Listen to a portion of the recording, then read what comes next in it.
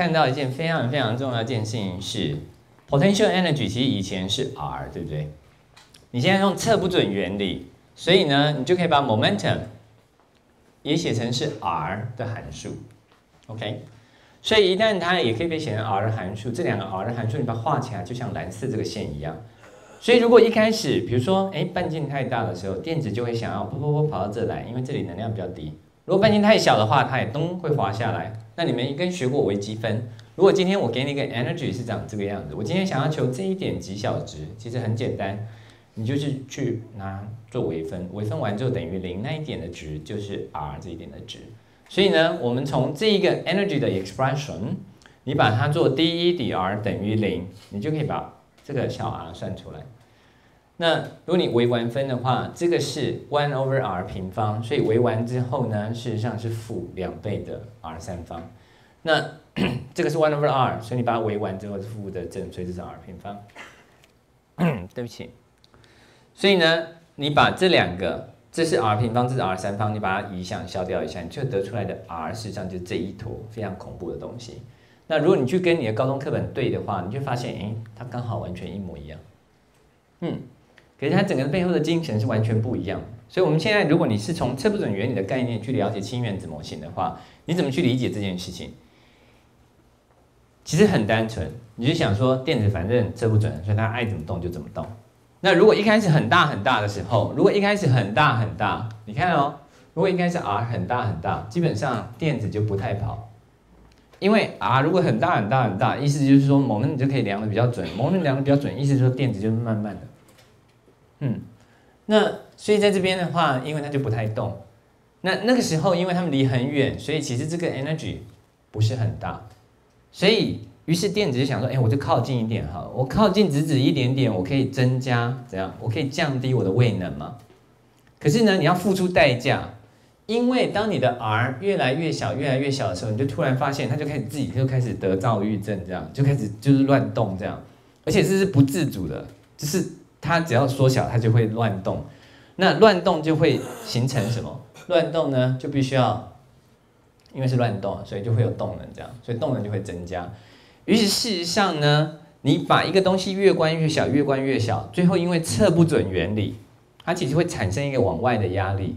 然后电子因为跟里面的质子相吸，所以它会想要里面靠近。然后因为测不准原理，我往外的压力，所以这一个量子的压力，最后跟它想要吸进来。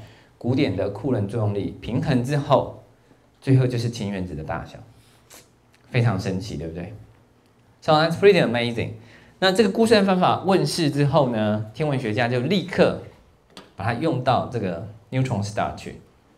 所以他们用的方法是这个样子的。什么是 neutron star？neutron star 就是基本上啪啪啪压压到一坨之后呢，其实质子跟电子已经不太稳定了，所以里面只有中子。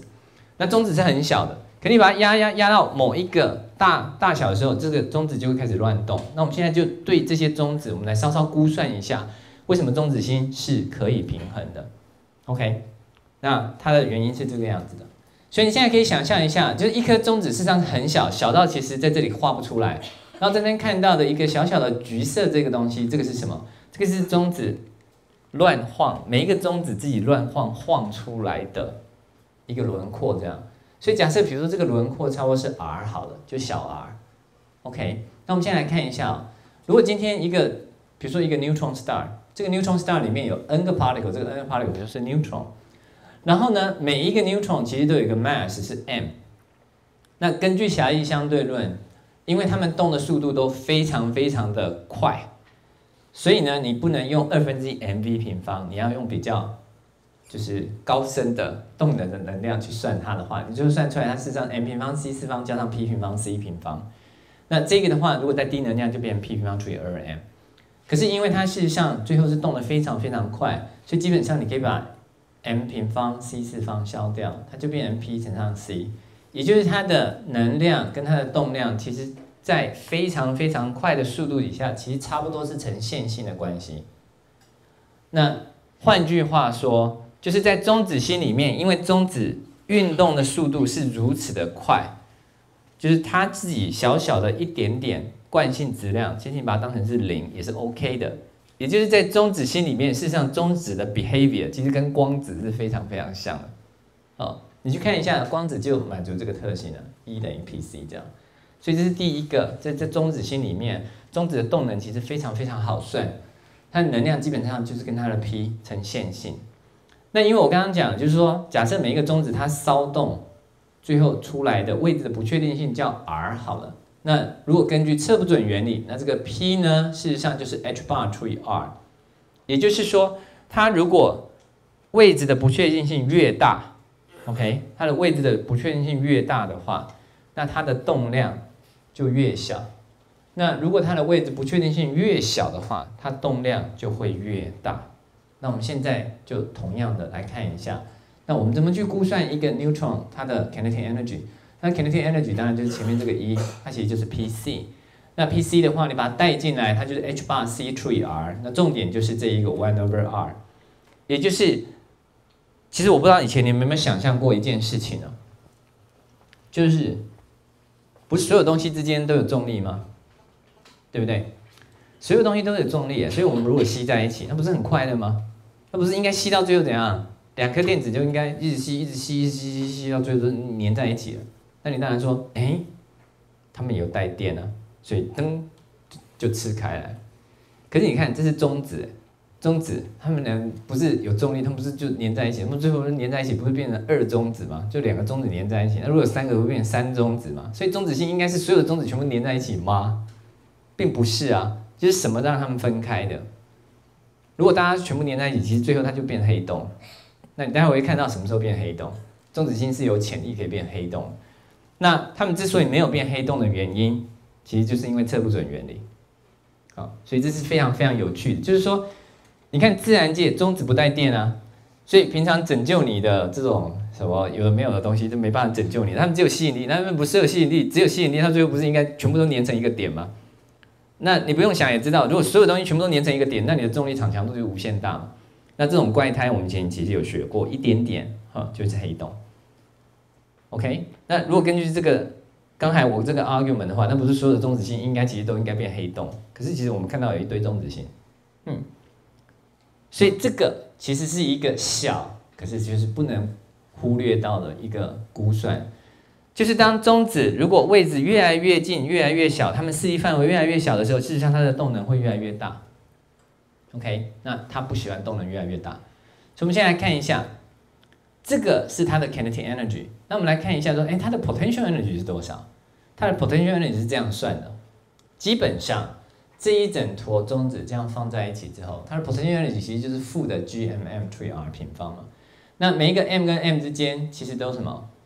都有一个有这样的一个东西。然后 loosely speaking，反正你总共有 n 个，所以呢，你最后就是 g n m 平方除以这个大 R。然后这个大 R。要怎么估算呢？这一个中子星，这个大 R 是中子星的半径，它的整个体积事实上就是每一个自己骚动的小体积，loosely speaking，全部加在一起。所以你总共有 n 个，那每一个呢小骚动是三分之四派 r 三方。所以你可以看得到，这个大 R 跟小 r 之间其实呈线性，然后前面有个 n 的三分之一次方。你如果把它带进去之后，最后出来事实上就是 g，然后再乘上 n 的三分之二次方，乘上 m 平方，再除以 r。然后结果这一件事情就告诉你一件非常好玩的事情，因为这一些东西事实上动得非常非常的快，所以呢，在相对论性的效应底下，你看一下它跟之前的氢原子是不一样的，它的动能是长这样，它的位能是长这样子，你有没有看到？这两个都是 R。就是说不会再有像刚才那样的，因为它们 power 不一样，所以会平衡。所以这个东西弄出来之后呢，也发生一件非常好玩的事情。就如果你把它整个写下来，你可以把 one over r 提出来，所以它前面事实上有个系数。如果这个前面的系数最后是负的时候，那它们的总能量永远都是负的。意思就是说，测不准原理造成的骚动，事实上是没有办法拯救他们，他们最后还是会一直吸进去嘛，因为是负的，所以他们就吸到 r 等于零的地方去。所以在这边你可以看一下，它有个 critical 的 number，那这个 critical number 就是这样来的，就是把 h bar c 减掉 g n 的三分之二次方 m 平方，你把它 set 成零，然后最后可以把这个 n 解出来。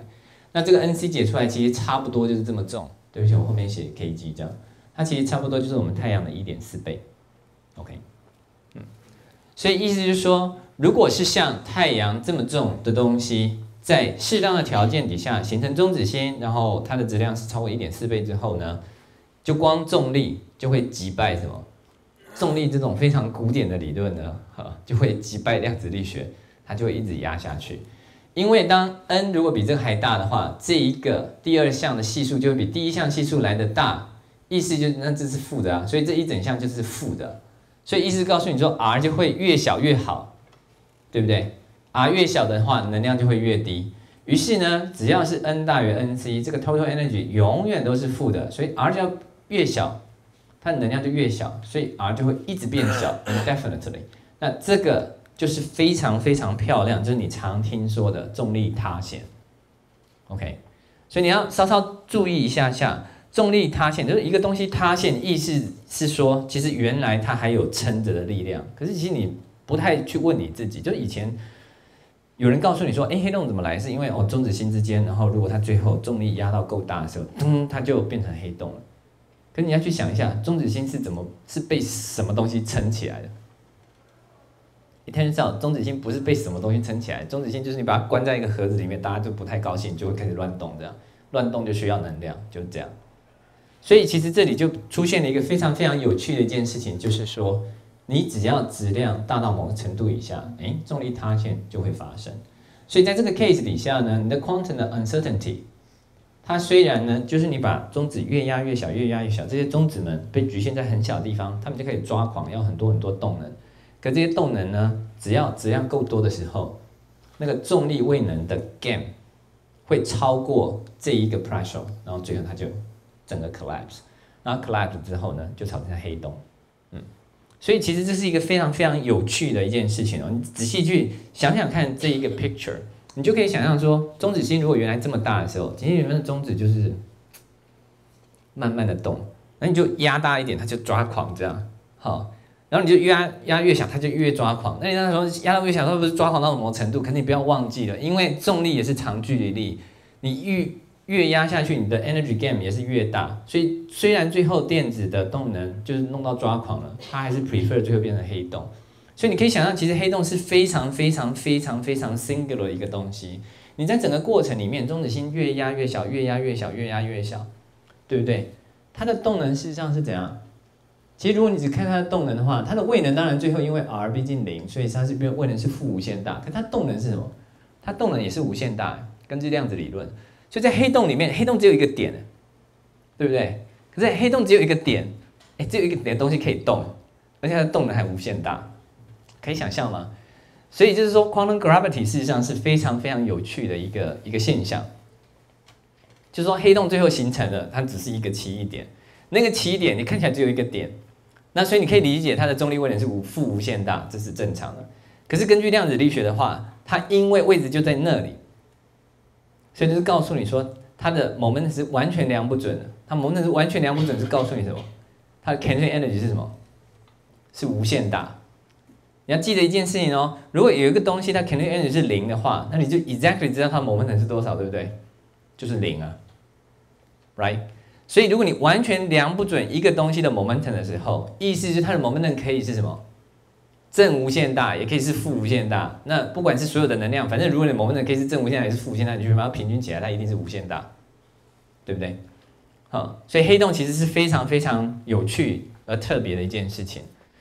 所以在这边，其实我想还是回到就是刚才氢原子的这一个例子，其实这真的是一个非常非常重要的一个例子。这告诉你一件事情，就告诉你说你怎么去理解现在氢原子里面为什么这样的一个东西会存在。你以前如果用波尔氢原子模型或者拉塞福的模型，比如说拉塞福的模型就告诉你说，哦，反正这中间是质子，然后外面电子就是这边绕啊绕啊绕啊绕的，OK。那拉塞福没有解决的问题是说，哎，可是根据 Maxwell equation，如果电子在外面绕啊绕啊绕，它有加速度啊，它如果一旦绕啊绕啊绕有加速度之后，它就会 radiate EMM wave，那它能量就会降低啊，于是它就越绕越进去，所以最后嘣嘣嘣嘣，它就会掉进去了，啊，所以其实波尔很喜欢嘲笑这些事情啊，呃，对不起，就是包利很喜欢嘲笑这些事情。他说啊，你们的原子模型都只存在于十的负哇啦啦啦几次方里面这样。好，那可是波尔解决了这个问题嘛？那波尔解决的方式是非常暴力的，而且是非常没有说服力的嘛，对不对？波尔氢原子模型告诉你第一件事情是什么？就是你可以用古典物理，可是呢，在绕的时候你不可以用，它是规定轨道不可以 decay。然后你就解决了这个问题，这是这是算哪门子的解决问题呢？就是说，反正我就跟你讲，就是只能这样绕啊，这样绕的时候呢，它就不会 radiate。所以没有错，波尔氢原子模型是第一次解决了这个重大的问题。可是这个这个解决的方式就跟没解决是一样的。所以事实上，那你们的通常的量子力学就学到这里，哎，就停了这样哈。那可是事实上有个非常非常简单的方式，可以让你知道为什么原子是可以有大小。而且其实，当你说原子是非常空的这件事情的时候，其实有时候这个是不太公平的，真的。其实有这件，其实这是不太公平的，因为所谓原子是非常空的这一个概念，是在于说原子核的大小跟原子大小比起来之后，你发现原子核大小很小很小，然后大部分质量在那，然后你写是说外面的话就是几颗电子在绕，电子是没有体积的。OK，如果你哪一天发现电子有体积的话，你一定会拿诺贝尔奖的。哦，就是现在所有的科学家去量电子，就是发现它没有体积，这样，那这是很奇怪的事情，因为所有东西应该都要有体积啊，只有数学家才说有点的存在啊，啊，可是现在现在的电子就是在科学界里面，它就是像点的存在。OK。那所以原子的大小是什么？原子的大小其实是非常有趣的，是因为在原子里面，电子其实有时候在这，有时候在这，有时候在这，有时候在这，就是所谓的呼烟在前，呼烟在后这样。那因为你完全不知道在哪，所以你最后只好说，哦，它有一个势力范围。那在那个势力范围都有可能碰到它，所以其实电子是满满的。OK，它其实并不是很空的，也就是说。你去看一下，就是假设如果今天就清华有只狗，它很凶狠，那以清华的校地除上那，就是那只狗的投影的面积除以清华校地的面积，可能很小嘛，所以你可能就说，哎，那个是很不满。可是如果它非常的凶狠，而且神出鬼没的话，你就发现它的存在感很大。比如说，你就永远都不敢进入那个势力范围，一进去它就突然不知道从哪棵树，或者是上面或下面或地洞，就突然咬你一口，然后你就很严重的受伤，这样，right？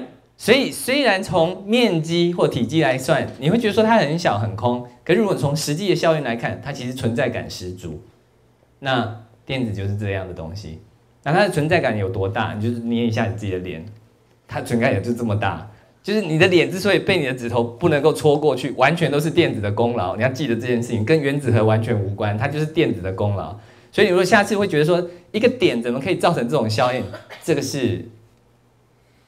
到目前为止，我教量子学，我觉得是最大的谜团之一。这样，OK，所以现在是你戳你的脸，发现戳不过去，就是测不准原理。这样，那因为它是测不准，所以它就跟完全古典是完全没有关联的。如果你今天问说，请问一下这电子有没有在动？答案是电子没有在动，因为你可以去量这个电子，就你量的时候，它有时候在，有时候在这，有时候在，有时候在这，它是因为被迫测不准这样，所以它并不是在绕，所以它没有加速度。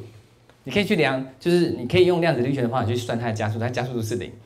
那你当然会说，等一下，老师，加速度是零的东西，为什么有时候在这，有时候在这？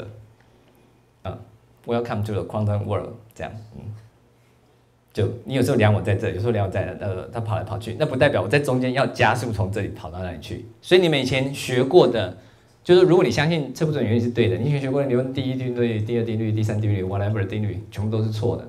而且它不是修正的错而已，它是完全的错误。啊，如果你觉得相对论已经很恐怖了，就是说很严重的修正牛顿力学，量子力学是完全把牛顿力学的基本精神就是全部丢到垃圾桶里面去。所以一个东西就是可以莫名其妙在 t 等于零的时候在这里出现，t 等于一是在那里出现，然后你有问说，那它一定是在 t 等于零跟 t 等于一有个加速度它可以过去，这是完全错误的想法，它就是可以这样。OK。所以我会觉得说，其实你们进了大学，如果就是没有真的把量子力学或量子现象学会的话，我觉得其实在智力上是一个蛮可惜的事情。尤其是这件事情其实已经被发现一百年、一百多年了。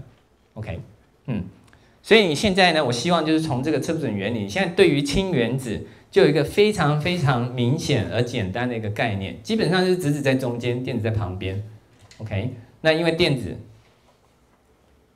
就是不知道位置在哪，那电子位置不知道在哪，OK，它有个范围，所以它就有个 momentum。那如果你让原子的范围变小，它的动量就会变太大。如果你让原子的范围变太大，就是势力范围太大，它是顾不到啦，所以它的位能 game 就变比较小，所以它就刚好有个恰当的大小。所以其实是非常非常有趣的一个概念，基本上就是说氢原子的大小其实就是电子根据测不准原理划定它非常漂亮的势力范围这样。所以虽然它的整个 expression 非常非常的复杂，可是重点 key word 它的整个里面的重点事实上是这一个 h。没有这一个 h，事实上这一整件事情其实都不会发生。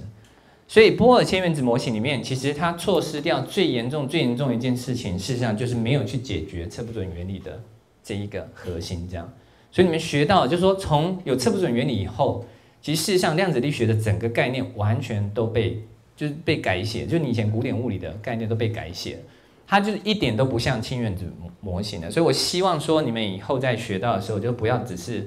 把你们近代科学的知识就停留在波尔氢原子模型这样，我觉得因为那个蛮可惜，虽然那个模型就很好教又很好考，啊，可是其实并没有真的抓到整个的意涵。好，那我刚才跟大家讲的是有关于动量跟位置的测不准，所以你就从此可以推出来原子的大小。那其实事实上还有另外一个非常有趣的测不准，这个测不准你们比较少接触到，这个测不准呢是能量。OK，跟你生存的时间之间的测不准原理，就你以前学过的所有东西，就是能量都是绝对守恒的。在量子力学里面呢，能量只是平均起来是守恒的，能量不一定要时时刻刻守恒，就偶尔可以偷一点，肯定记得是 说下一次下一次要还回去这样。好，那尤其是如果你的生命很短，你就可以偷很多，那就叫下一代还就好了。好，OK，所以这件事情其实出来之后呢。真的是让很多古典物理学家就从此之后就再也不跟他们玩了。那就是说，如果这个东西是对的，我不希望有任何贡献，啊，因为我就不喜欢念物理了。这样，那可是这个背后却这么这么的简单。这个一个东西的 lifetime，就是说一个东西它可以活多长，跟它的能量可以准确到什么程度，它们俩之间呢也有一个测不准原理。也就是说，如果一个东西永远不死，lifetime 无限长。就你量量量，就是不死不死不死不死不死不死，就是从从盘古开天辟地就 Big Bang 一直到现在都不死，那它的能量就会无限准。OK，可如果有个东西它是昙花一现，比如说就是呃四十几年前生，然后三十几年后就挂掉，活七十几年，你会发现它的能量就会有一个 intrinsic 的误差在。那我们现在来看一下，就是这一件事情事实上怎么跟爱因斯坦他 propose 的光子的。概念事实上是一体的两面，所以你就可以知道光这爱因斯坦为什么会会跳脚的这样，因为爱因斯坦说我 propose 的那个式子没有这个意思。那我觉得这个是科学史上非常非常有趣的一件事情。大家还记得 Planck 提出来 E 等于 hf 的时候，爱因斯坦不是很夸张的说这个其实就是光子的频率，这是光子的能量。然后 Planck 就到处跟大家讲说我没有这个意思啊，我没有这个意思啊，呵。我只是提出另外一个简单的意思而已，所以当你待会学到这个的时候，爱因斯坦也是一样，就是说我当初提出这个完全没有这个意思，这样完全没有测不准原理。所以，我们先来看一下 E 等于 hf 为什么最后就会造成 OK 测不准原理这样。嗯，所以我们现在来考虑一件事情，我们现在考虑有一个，比如说有一束光好了，它的 signal 是这样，就是在某一个时刻之前呢没有，然后在这个时刻你就把它打开。然后到某个时刻，灯它就不见了。所以呢，意思就是说，它的 lifetime 其实就是我画的这一个 delta t 这么大，它就在这一段里面。那请问一下，对这样的一个 signal，你的频率可以量到多准？那你去看一下，频率很简单，频率就是你就数有几个波峰过来嘛，就单位时间有几个波峰过来。于是你去数它的时候呢，你就发现，如果你去算它的 angular frequency 乘上这一个时间。欧米伽乘上 delta t，然后去看它有几圈，就是欧米伽乘上 delta t，其实就告诉你它基本上 phase 转了几圈这样。所以呢，因为它是 finite，所以你就数出来，比如说这个可能是一二一、二、三、四四圈半，好。那我画的呢就刚好是四圈半。那四圈半的意思是说，哦，可能有的同学写四，有的同学写五，所以你这样子测量出来，其实你的角频率就会有一个 uncertainty。这个角频率的 uncertainty 呢，就是等于二派，OK 除以 delta t，因为那个误差 n 跟 n 加一的误差基本上这里就是一嘛，所以这就是二派，让它除过来，所以它的误差其实 delta omega 就是二派除以 t。所以在光学里面，对于任何一个 finite signal，那个 signal 如果那一个讯号存在的时间，跟你可以量准它的角频率中间存在一个非常简单逻辑上的关系，就它们两个乘在一起就差不多是二派，你没有办法 beat 这件事情。那这个同样是一件非常非常简单的事情，你去想一下，这个 trend 如果比如说是单摆来的。你如果今天想要说，我我只是让单摆摆一小段时间，然后我要测它的频率测很准，可能吗？我就说开始测停，那就可能还没有摆一次，所以你知道猜答案是零或一，对不对？所以那个误差就会很大。所以如果你单摆的周期或者是频率要测很准的话，你必须要怎样？你必须让它摆很多很多很多很多次。于是呢，就是你测量，就是那个单摆摆动的时间，跟你可以测出来。它们 frequency 之间的关系，其实就满足这一个关系式。那所以这个关系式事实上是早在十七世纪、十八世纪光是波动的时候，其实所有的物理学家都好了，就是有有程度的物理学家，其实事实上都知道。可那时候也没有人把它叫做测不准原理，因为大家觉得这个是常识。那我们现在来看一下，怎么样一个小小的代数式就可以让常识最后就就完全颠覆了科学革命？大家还记得吗？这一个。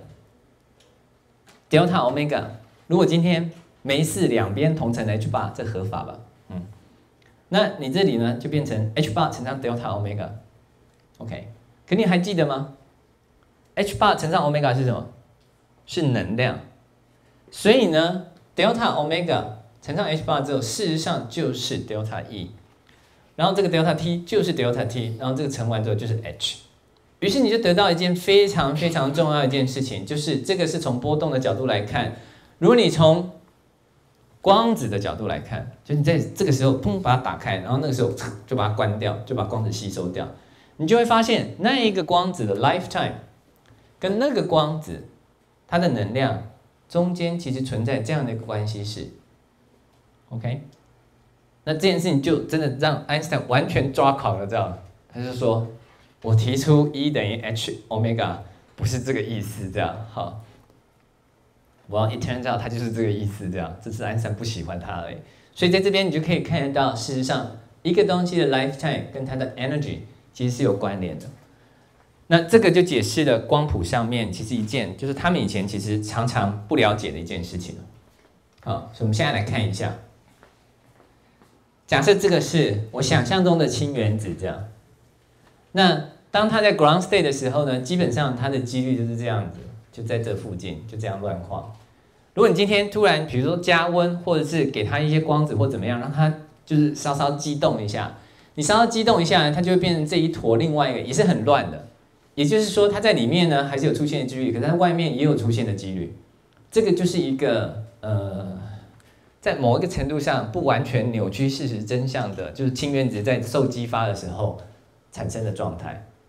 OK，真正扭曲的想法是，哦，这里有个圆形轨道，激发之后，哎，变成一个比较大圈的圆形轨道，那是完全错误的想法。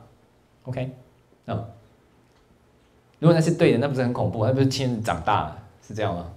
嗯，所以事实上，它只是分布状况变成这个样子，然后这个东西其实它是不稳定的，所以隔一阵子之后，它会放出光子，然后又跑回原来的样子。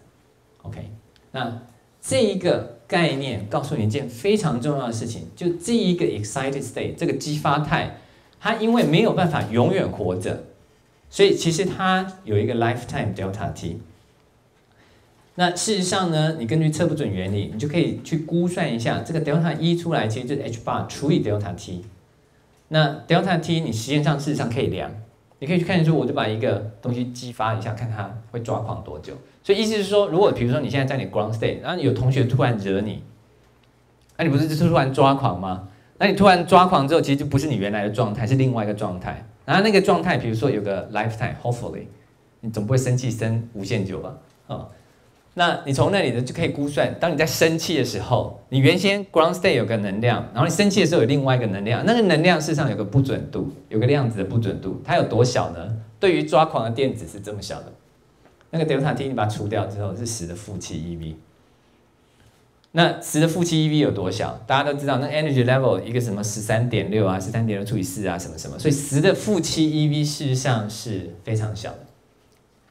可是我想要跟大家讲一件。重点是它虽然很小，它不是零，所以时间上是真的可以量得到。所以也就是说，你们以前课本上画的，常常说，哎，一零是长这样，然后一万就是长这样，然后一 two 是长这样，然后就砰砰砰砰这样跑上去。事实上，in real life，一零因为可以放在这里，可以无限久，所以它其实 energy 分布事实上是非常 sharp。可是，一万因为它其实有一个 finite lifetime，所以事实上它分布其实是有点 broad。所以你在要签的时候。你如果真的去看真正药签放出来的光子有没有，它的能量其实不是 exactly e two 减掉 e one，它其实事实上是有个分布。那这个分布就会造成你谱线事实上有个宽度。那在不知道测不准原理之前，其实大家都会觉得，如果根据波尔氢原子模型，你的谱线应该是什么？你谱线量出来应该是一条线嘛？因为它是 exactly 是 e two 除以 e one，然后对 e two 减掉 e one 再除以 H 八对不对？所以你的谱线应该是真的一条线，可你实际上在实验量出来发现它不是一条线，OK？它其实是有个宽度，那个宽度是怎么来的？好，那个宽度就是经过很多实验上的验证，后来发现其实就是测不准原理来的。那所以呢，对于那种就是说你打上去，比如说一下就掉下来死很快的，你就发现它对应的谱线就很胖。那对于那种打上去可以活比较久才掉下来，你就发现它的谱线会比较细，所以从测不准原理呢，就可以解释谱线为什么有时候宽，有时候细这样。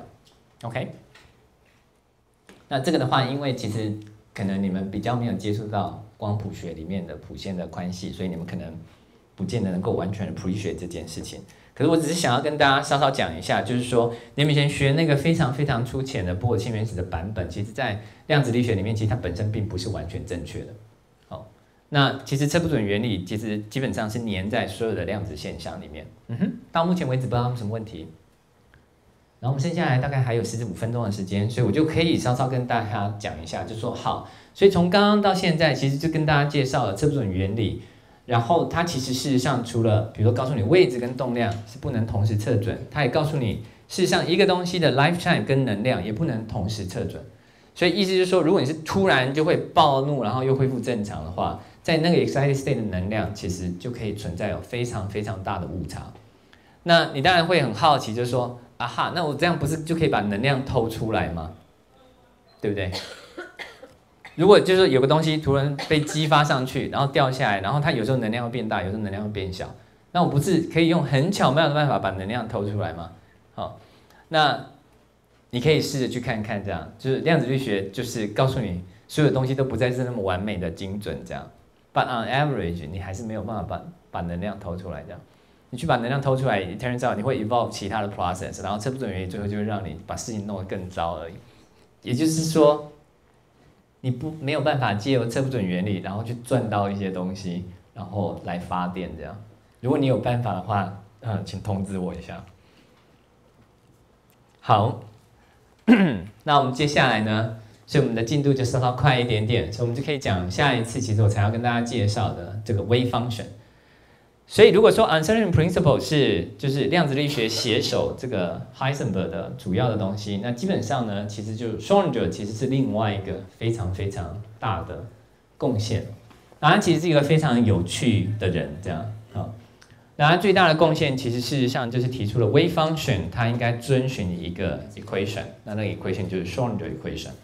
那他很出名的一个例子就是我上次跟大家讲过 Schrödinger's cat。就是说，激励的诠释其实本身也非常困扰双龙者。那双龙者当然除了这一些贡献以外，他还写了一本书叫《What's Life》。他在量子力学出来没多久之前，他就非常有远见的预测了一件事情，就是我们之所以可以快乐的遗传活着做判断，这一定是量子效应。OK，那这个在当时事实上当然是非常非常大的震惊。这样，那这本书其实一。影响了非常非常多近代的，就是 molecular biologist。那其中最出名的当然是就是 Watson，就是 James Watson。那后来他发现了 DNA 这样，所以其实是一本非常非常有趣的小书，大家其实如果有空可以去看。所以 Schrödinger 其实为什么会去想到就最后要写下 Schrödinger equation，其实基本上还是被他好朋友呛的。就那时候 De Broglie 呢，其实就 propose 所有的物质其实都应该是波这样。那你知道，就是说。我觉得那时候物理学教授很显然比较闲，所以相信这件事情的人就开始到处给演讲，这样就说你知道吗？物质是波啊，怎样怎样怎样。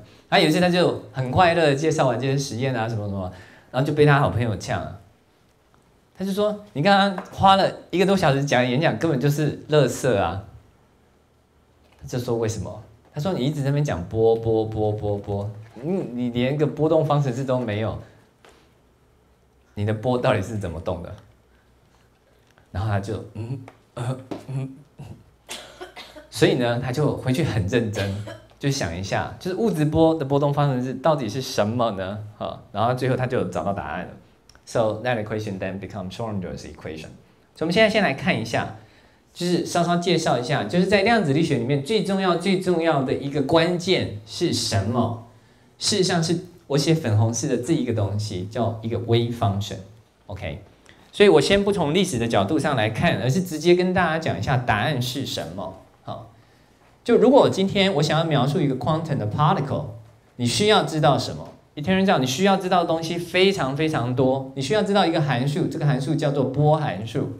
好，它通常写成 psi，然后它有四个变数 x、y、z、t。那这个分别是什么意思呢？这个意思是，如果你把这个波函数的平方乘上，比如说一小块的体积，那它这一个乘出来，这是个实数嘛？因为波函数有绝对值平方，再乘上这一个，它事实上一定是一个正数。它就是这个例子在这个地方出现的几率。OK，所以我再讲一次，这个其实牵扯到几个非常非常重大的概念。这样，好，这第一个隐含的概念，事实上是告诉你说，场论才是近代科学。的正解，OK？为什么呢？你去看一下一个 classical particle，你要描述它的话，需要知道什么？你只要知道它的位置就好了。它的位置是什么？它的位置就是 x t、y t、z t，就这样而已啊。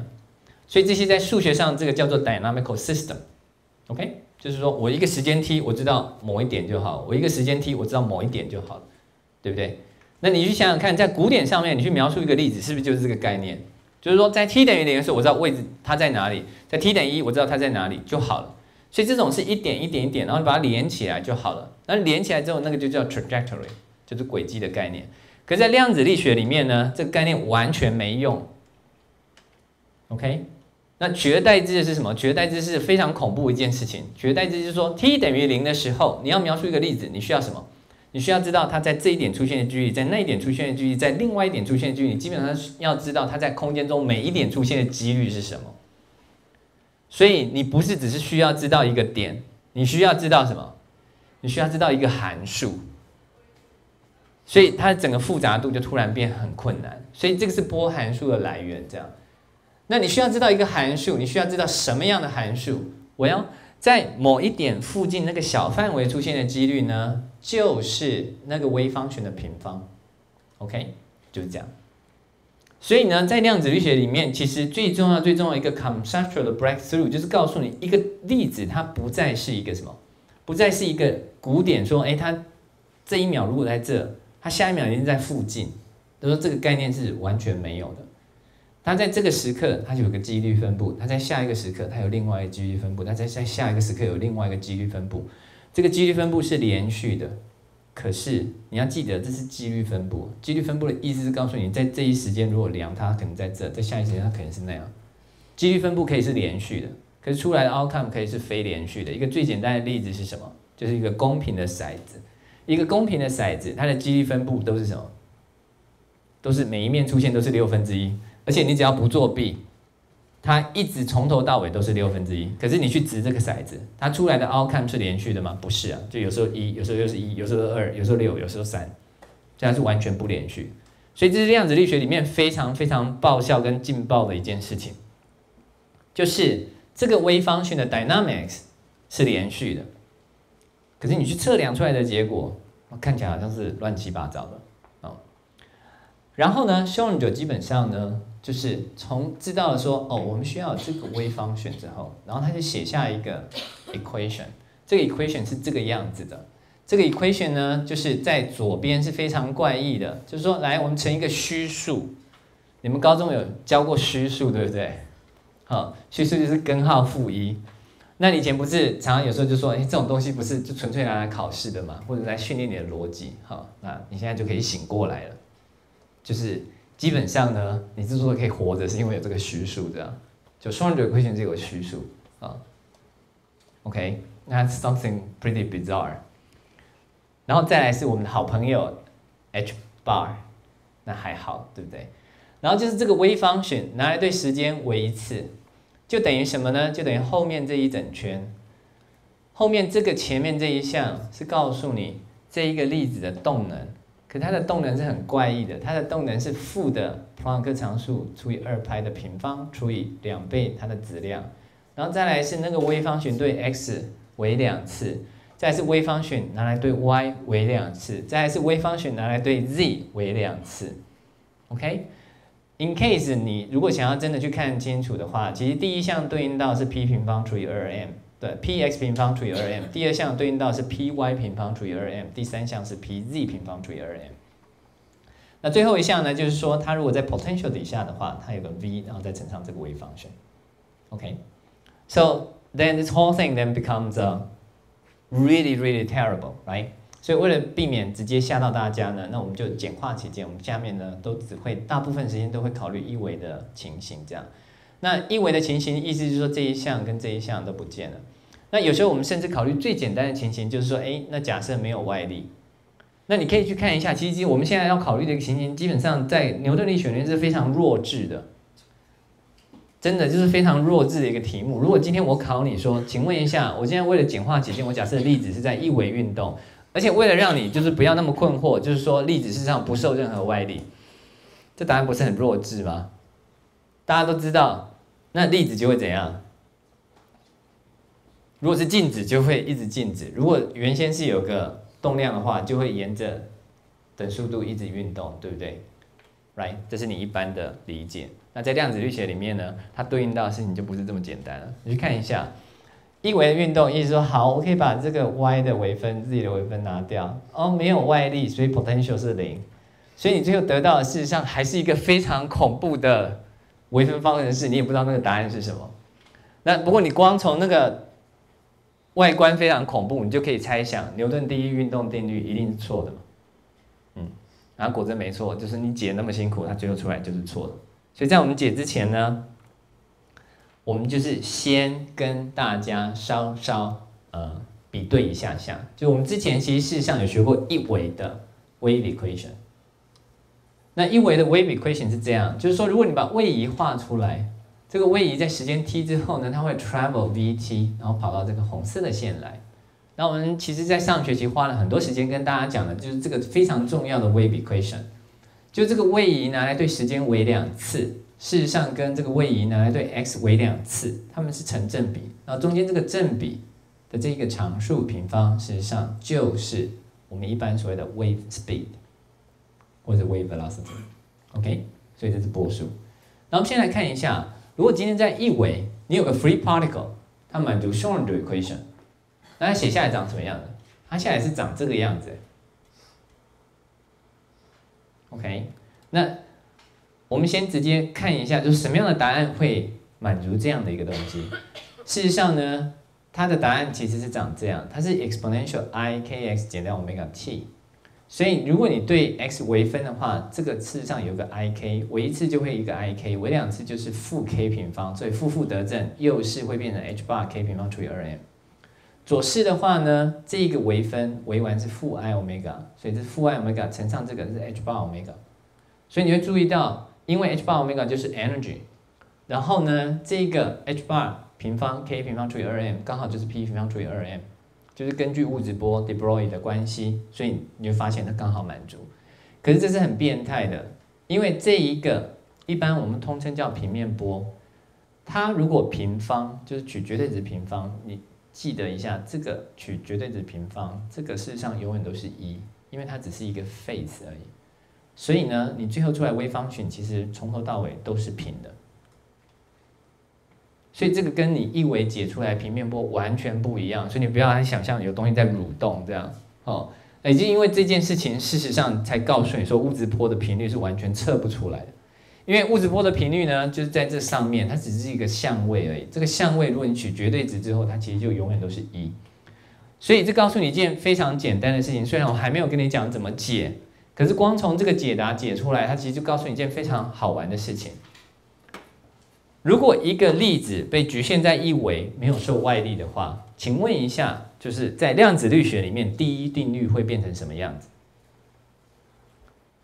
那第一定律被改写成这样，就是说，你 t 等于零去看它的时候，它可能出现在 x one；你 t 等于二的时候去看它，它可能出现在 x two。基本上它就无所不在，它就是在你定义的那一维上面无所不在，然后它在每一点出现的几率都相等。OK，这是非常恐怖的事情哦。这个跟你以前想象说一个粒子就是这么快乐的用某一个动量这边跑，是完全不一样的。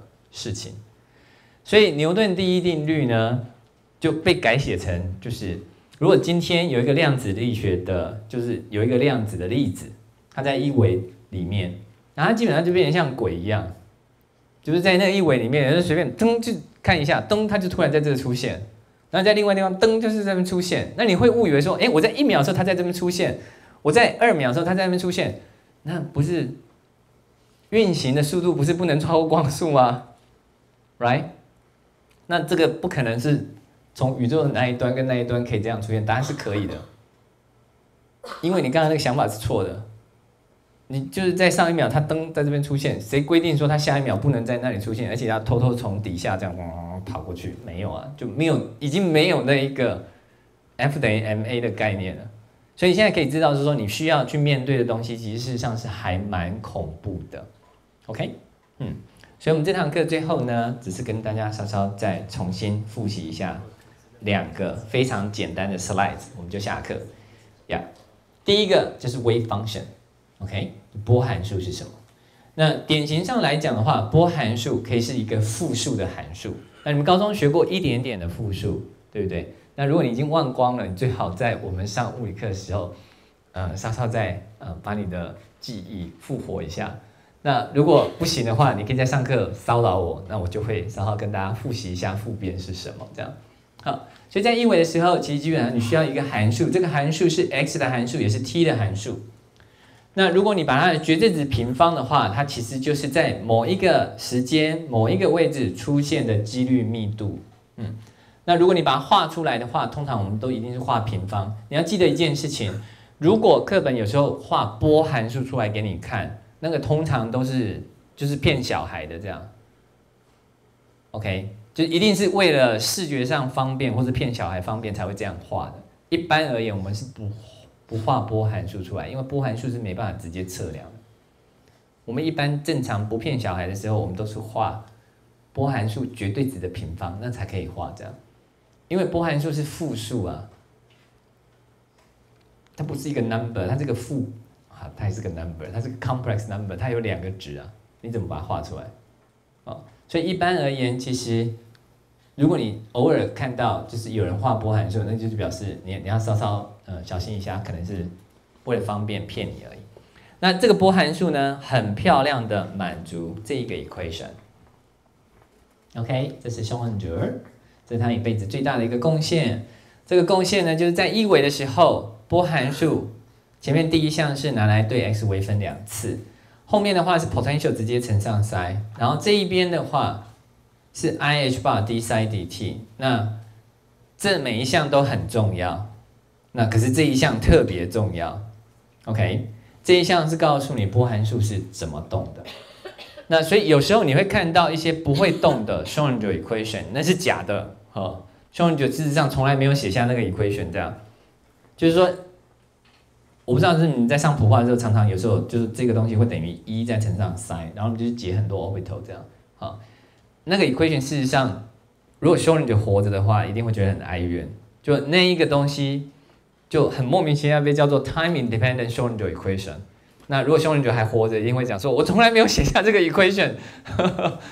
因为 Schrodinger 整个的重点是告诉你物质波是怎么动的。那如果要会动的话呢，它一定要有 time derivative。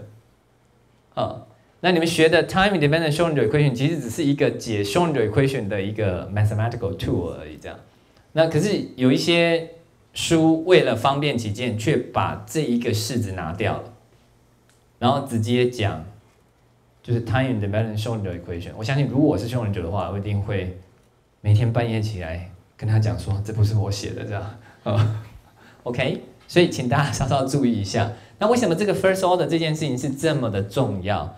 因为大家可能都还记得一件事情，在物理界里面，目前我们都相信有 time reversal symmetry，也就是一个 process，如果你正过来看，跟把它倒带过来看，其实你是分不出来的。